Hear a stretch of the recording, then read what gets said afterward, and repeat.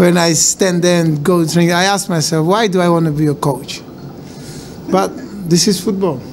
Yeah. Um, I am not uh, gonna be here negative. Uh, my players just failed on one aspect of the game. Just put the ball in the net. They uh, were fantastic over 90 minutes.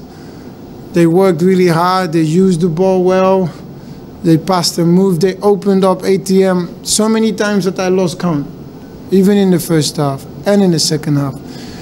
We did create so many chances not to win one Malaysian Cup, but to win five Malaysian Cup games. We should actually, based on this game, be in the final.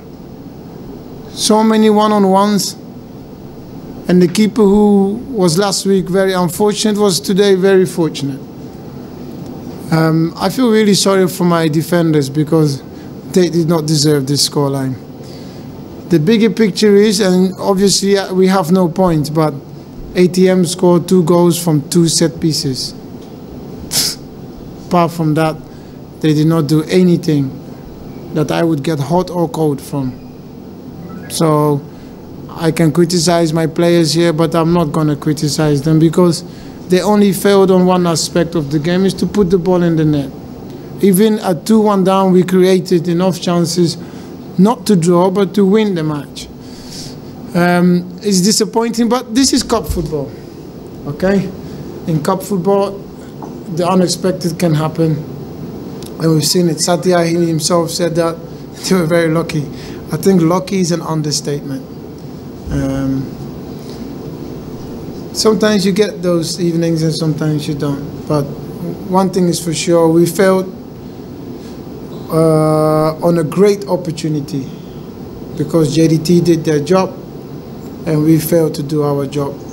Um, is to win and qualify immediately. But history tells me that Kelantan never does anything easy.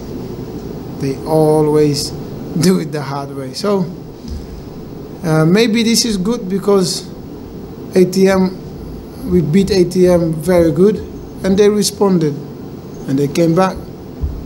Big compliment to to ATM for the character they showed and uh, if I'm honest, I'm a little bit jealous of the character they showed because I would love to see that also in my players.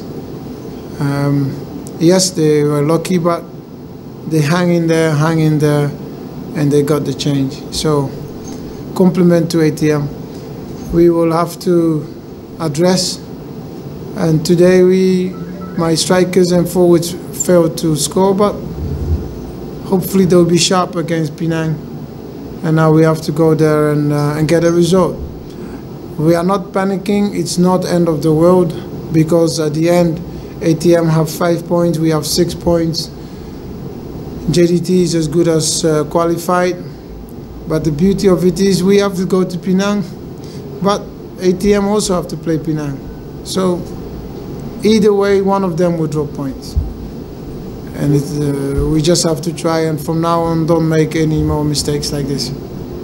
Penang away now is a must-win game because JDT now has qualified. So what if JDT failed to beat ATM?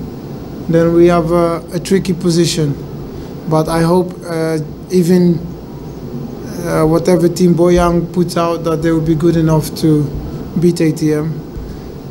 But let's focus on ourselves and we have to first do the job and then look at uh, other teams. It's just too disappointing. Uh, you all witnessed what's happened. I did not and couldn't make a change at 1 0 second half until we scored a second goal, and it never came, which is uh, very, very disappointing. They also, even if we played 10 hours, they wouldn't score. Only set pieces they can score. And this is why we lost the game don't say and criticize Kelantan was poor or this. We were not poor. Look at the tape again. How many teams can open up a team and create so many chances? Not many. So please choose your words wisely what you write tomorrow in the newspaper.